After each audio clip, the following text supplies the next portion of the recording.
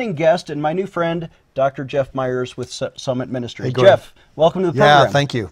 I'm so glad you're here. You know, if, if our viewers remember, you were here uh, just a few weeks ago and we talked about Summit Ministries. Remind people what you do in Manitou Springs, Colorado. Yeah, well, you, you want to go to summit.org to see more information, but we bring students together for 12 days at a time. In fact, we have three different campuses, one in Colorado, one in California, one in Tennessee. And during, the, during a 12-day program, 12-day course of study, we introduce students to world-class experts in apologetics and worldviews and theology and economics and, and work with them through mentoring and lectures and so forth to help them develop a biblical worldview that can be the basis of lifelong leadership. So instead of, our, instead of taking an approach of fear toward the culture, oh, we need to avoid everything that's bad out there, our approach is no, be bold, move into the culture, but do it with truth. And teenagers from all over America, age 16 up to 21, they come and they live for two weeks at your retreat headquarters, right. whether it's in Colorado or in Tennessee or in California, you have three different centers, usually during the summer, and these students learn how to have a biblical worldview. That's exactly right. So they'll, they'll come with their big questions. How do I know there is a God? How do I know that God is really good? That's a big question a lot of students wrestle with. It's not so much, is there a God, but is God good? I don't believe, I don't have a problem believing there's a God, but is he a good God? That's a big question students ask. What about hell? What about morality?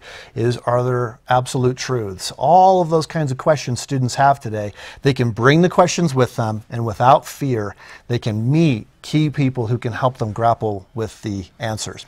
The program's been available since 1962, before either one of us was born. So yeah. that program has a track record it's, it's the one thing in America where, wow, you absolutely want to send your child to Summit for two weeks before a, they go off to college. A, a, general idea of how many students graduate the program every year? Well, we, right now, it's about 2,000 students a summer who come to the 12 day program, which means over the course, and it's been smaller in some years, but over the course of years, it's been probably about 40,000 students, and they have had a profound impact on American culture. So, those ideas that they're battling with in the classroom during these two week summer retreats, they're similar to the ideas you've written about in this book. The secret battle of ideas about God. What, what do you mean yeah, secret battle? Yeah, well, that's exactly the point of it is that we wanted to bring Summit to churches, to adults who would never have the opportunity to come to one of these two-week programs.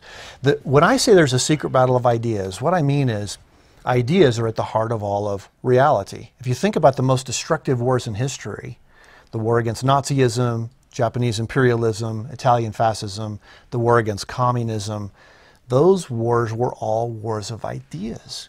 It wasn't it wasn't just physical viruses in the world. It wasn't an earthquake that killed people. It wasn't tornadoes or hurricanes that killed and it's people. It's not all, always military either. It was, that's right. It starts with ideas, and then if somebody weaponizes the ideas, then millions and millions of people can die. R.J. Rummel, in his book Death by Government, possibly as good as Jesus, then they believe both statements and they self contradict. They contradict one another. So, how can we explain that? So, simple logic would say you can't hold both of those beliefs.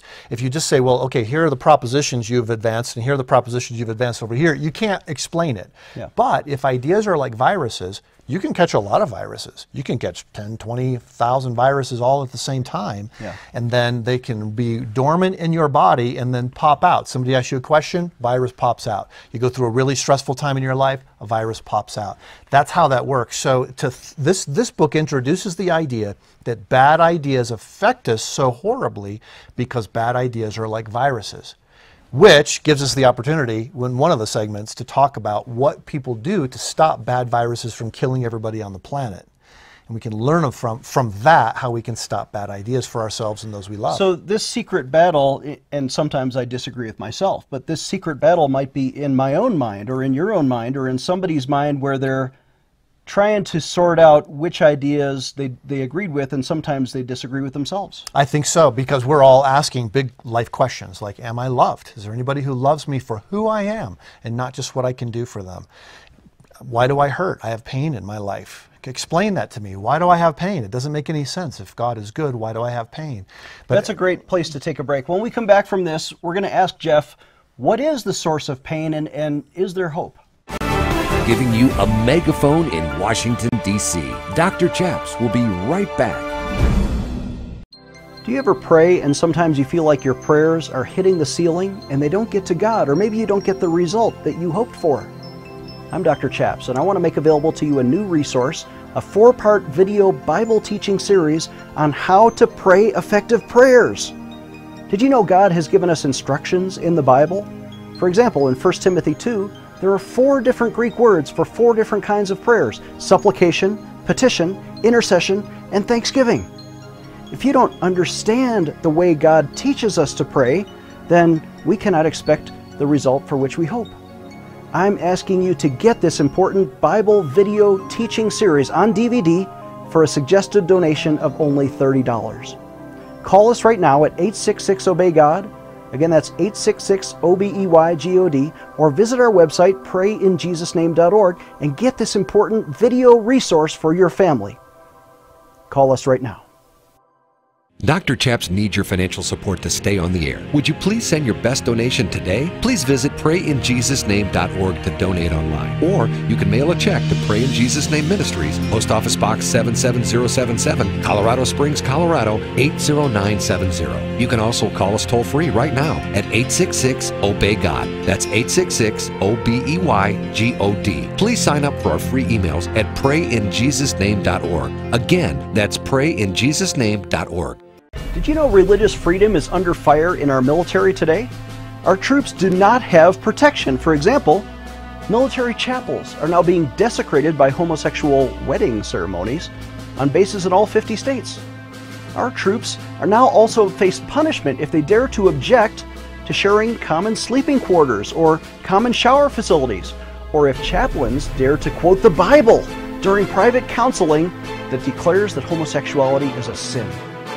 Nobody in our military should be forced to violate their Christian conscience, especially their right to pray publicly in Jesus' name. Let's take action today for religious freedom. Would you sign a petition with me? Visit prayinjesusname.org. Again, that's prayinjesusname.org. Let's defend religious freedom for our troops.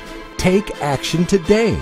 Dr. Chaps needs you to sign today's petition right now. Again, visit prayinjesusname.org to sign our petition right now. He is the intersection of church and state. Here is Dr. Chaps. We often wonder whether there is any hope for the world today. Why do we have conflict? Does my life have any meaning? Of ideas about God. Welcome back. I'm joined again by Dr. Jeff Myers, the author of this new book, in stores everywhere, we hope, uh, The Secret Battle of Ideas About God. Jeff, why did you write this book? And it's published uh, David C. Cook. Uh, talk about Yeah, that. yeah. Yeah. I wrote it because I want people in churches to recognize there are bad ideas that, that cause us to feel miserable, that sicken our souls in the big life questions that everybody in the world asks. Am I loved? Why do I hurt? What is my purpose? Why can't we get along? And is there any hope for the world? Everybody in the world wants to have answers to those questions. Is there any hope for the world? I, the, the hope for the world is in, is in Jesus. Amen. But the but the but it's amazing how many different worldviews will try to deflect our attention away from that. They'll say, well, only the material world exists, so Jesus is not real. Or they will say only the spiritual world exists, so anything that goes wrong for you on this planet, don't worry about it. It's just an illusion. This none of this really exists. So it is it's really a worldview battle. It's a battle of ideas and how we answer those big life questions, especially in questions like pain. I mean, we've talked about this that that it's not so much that people disbelieve that there's a God. It's they believe God is not good or they question whether he's good Well, because they've had hard times in their lives. I think that's one of the chapters in your book where you try to answer the question how does a good God allow evil to exist? What, what do you say? Well, there are two ways we have to approach the question. First, we have to look at the alternative worldviews. I've, people have said to me, well, doesn't Christianity have a problem of pain? And my answer is every worldview has a problem of pain. It doesn't matter where you live on the planet, if you have pain, you've got to figure out why. It- so each worldview proposes its solution. Secularism says there's no point to any of this in life. As Richard Dawkins said, DNA just is and we dance to its music. There's no meaning to any of it. Marxism says we have pain because the rich oppress the poor. We're being oppressed. If we can overthrow our oppressor, we'll overcome our pain. Or Muslims might say it's the will of Allah. Uh, that's exactly right. It's, so if you experience pain in Islam, Muslims will say it's because you've disobeyed God. Uh, what about a tiny baby? They've disobeyed God. That's it. There's no, there's no Even other possible, innocent. even if they're innocent, there's no other explanation. Wow. The fourth worldview, New Spirituality, says pain is just an illusion because the whole world is just an illusion. Postmodernism says we don't think anybody has answers to this. We just despair that anybody has any truth at all. There really is no truth. They're always the skeptics. They're always the skeptics. They're skeptical about everything. Do you think the Bible's true? We're skeptical. Do you think there's a God? We're skeptical. Do you think any claims about anything are true? No, we're skeptical. So each of these worldviews tries to grapple with pain, But all of those fail. are depressing. All five of those that you just described, I would be sad if I believed that way. I think a lot of people are really sad. What That's the- maybe why they want to why they blame God. So What is you- the hopeful worldview that? What is the biblical answer to that difficult Well, biblical question? worldview is based on Jesus. That Jesus is the Son of God, that Jesus really did come to earth, he really did die on the cross, and he really did rise again from the dead. So we don't live in a world of the of death, we live in a world in which Jesus has conquered death. When The we talk about we're resurrection world, we talk about sharing the gospel, and sometimes we think that means I've trusted Jesus as my Savior, why don't you do the same thing? But it's so much bigger than that. The gospel is Jesus has won. He has destroyed evil's ability to destroy that about us that is most important, which is our eternal soul. So, when you say we're sharing the gospel, what you're really doing is saying we just get to go. We don't have to do anything except go out and tell people Jesus has won. That's the good news. and there's hope and there's healing. You may be, you may be suffering from sickness or injustice, but there will be justice in the world, and Jesus provides hope and healing and even resurrection to eternal life. I think that's that's right. And I've had a lot of painful things in my life, and I know you have as well. And everybody who's watching, we've experienced pain. Jesus said, "In this world you will have trouble, but take heart. I have overcome the world." The word "overcome" is based on a Greek word from it's the, based on the Greek goddess Nike, who's the goddess of victory. Yeah. What Jesus has done in rising again from the dead is deprive evil of its ability to destroy our souls. So Jesus has overcome evil. That does not mean we don't experience pain, but Jesus has overcome it, and it's in that that we have hope. And it's such a hopeful message to know that God is always good. Even when your circumstances are bad, even when bad things are happening to you, God is always good. We're going to take a short break. When we come back, we'll have more with Dr. Jeff Myers. Dr. Chaps will be right back with more PIJN news. Do you ever pray and sometimes you feel like your prayers are hitting the ceiling and they don't get to God, or maybe you don't get the result that you hoped for? I'm Dr. Chaps, and I want to make available to you a new resource, a four part video Bible teaching series on how to pray effective prayers. Did you know God has given us instructions in the Bible? For example, in 1 Timothy 2, there are four different Greek words for four different kinds of prayers supplication, petition, intercession, and thanksgiving. If you don't understand the way God teaches us to pray, then we cannot expect the result for which we hope. I'm asking you to get this important Bible video teaching series on DVD for a suggested donation of only $30. Call us right now at 866 Obey God. Again, that's 866 O B E Y G O D, or visit our website, prayinjesusname.org, and get this important video resource for your family. Call us right now. Today, I want to invite you to sign an important petition to Congress to protect military chaplains, especially their right to pray publicly in Jesus' name. If you remember my story, you know that I was vindicated by Congress in 2006 after I took a principled stand for the right to pray in Jesus' name. But Congress never did pass a positive law to let chaplains pray according to their conscience. Would you sign that petition with me? Let's take action today. This is PIJN News. You know, people ask me, chaps, we're watching on this network. We've already set our DVR to record your shows, but our friends don't have this network, or maybe they can't watch at this time. Did you know we are on demand on 10 different platforms? You can tell your friends to find this show, PIJN News, on their Roku box or their Amazon Fire box. Just look under the religion or news categories. Or maybe you have a smartphone, or your friends or grandchildren can find us on Android TV, Google TV, Smart TV, or iTunes. Of course, we're always on the internet. Look for us on YouTube or Facebook or Twitter, Or better yet, subscribe to our daily email alerts at prayinjesusname.org. It's important that you share all of these available platforms with your friends so we can mobilize all of the body of Christ to pray the news and change the world. Would you join us? Visit prayinjesusname.org to learn more. Stay tuned for the end of our show to learn how to partner with this ministry. Here's Dr. Chaps. Welcome back. Joined for one last segment, Dr. Jeff Myers has written this book, The Secret Battle of Ideas About God. Here's a subtitle Overcoming the Outbreak of Five Fatal World 38% are sympathetic with some Islamic teachings, which is amazing to me.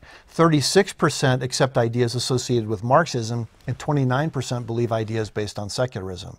So, idea viruses sneak in. And, and you can easily imagine how that would happen. The smallpox virus, for example, is so tiny that a million copies of the virus can fit inside the period at the end of a sentence. They're so small they can come in through cracks in your skin, cuts that you don't even realize you have. Vi- idea viruses are similar. They come into our minds and into our hearts and they convince us you are not loved. There is no healing for your hurt. There is no purpose to your life. There is no end to the conflict. There is no hope for peace and there's no hope for the world. The Christian worldview stands up and says, because of Jesus, because Jesus has won, all of those things get reversed and there is hope for the world. So I'd recommend the book to anybody who's interested in having some hope, anybody who's wondering, am I really loved? Is there any answer for my pain?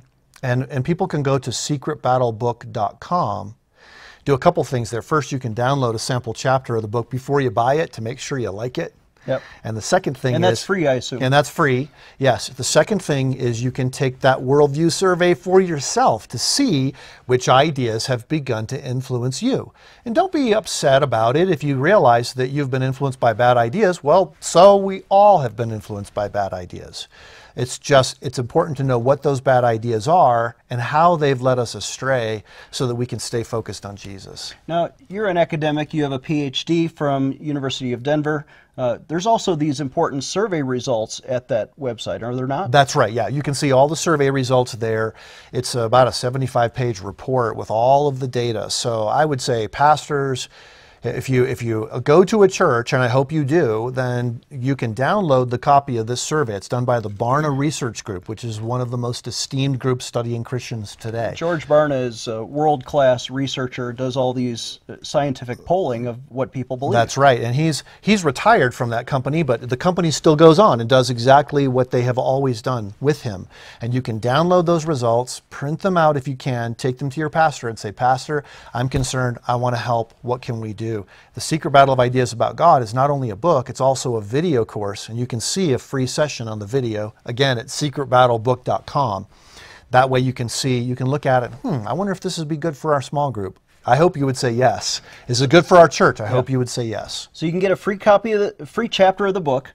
You can take the worldview survey to see how what kind of ideas you've been influenced by. You can see the academic research of how most of America, in fact, other Christians, what the, what worldview they believe. Right. There's a lot of information here. At There's a lot of information, just secretbattlebook.com. It's a website built up that's to be it's simple to navigate, but it gives you a lot of detailed information and a lot of solutions as well. We don't want to just present problems. We want to show people there is hope and you can solve these problems in a way that can really change the world. we have just three minutes left. I want I want your uh, take again on remind our viewers about what you do for teenagers. Let's say there's a mom out there saying, I- you know, I'm really worried about my 16 year old. Yeah.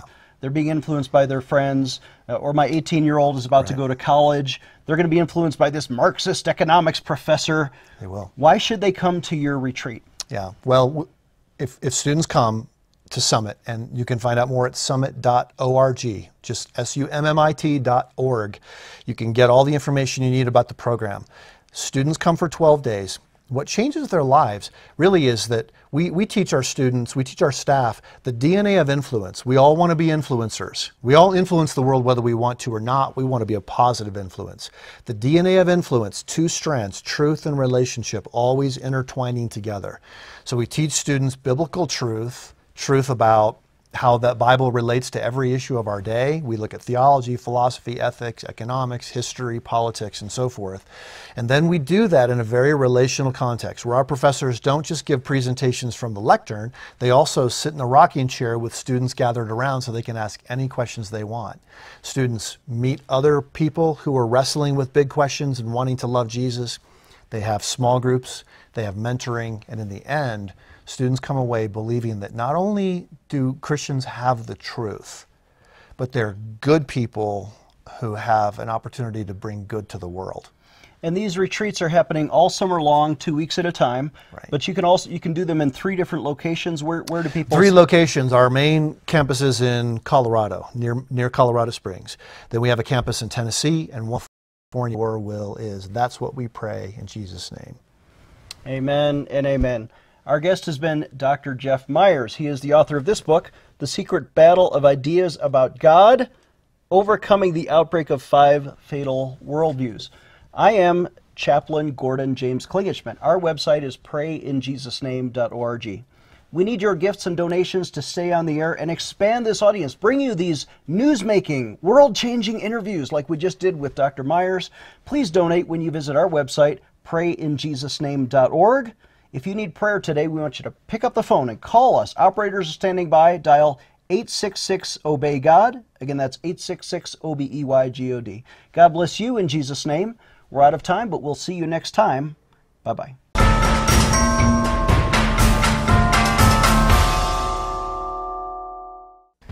We often wonder whether there is any hope for the world today. Why do we have conflict? Does my life have any meaning?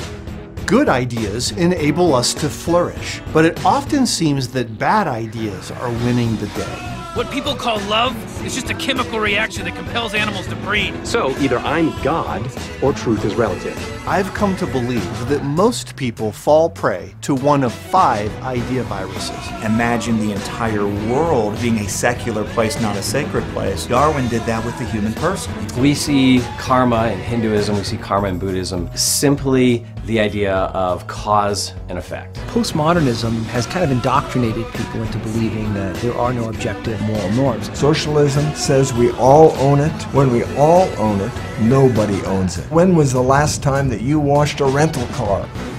Do you have the hope that you are confident of your salvation? And now I've never had a Muslim say to me, Yes, I'm confident. A growing number of people wonder not just if God exists, but whether the question of his existence even matters. In the busyness of life, it's easy to feel like God is absent. We find ourselves locked in mortal combat in a secret battle of ideas about God.